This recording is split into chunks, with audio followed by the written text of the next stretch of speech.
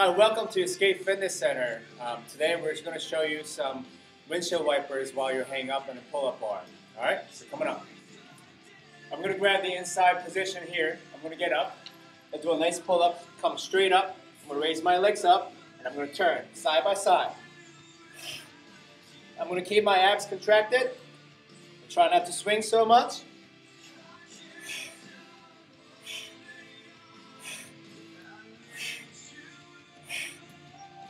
Lower myself down. There we go.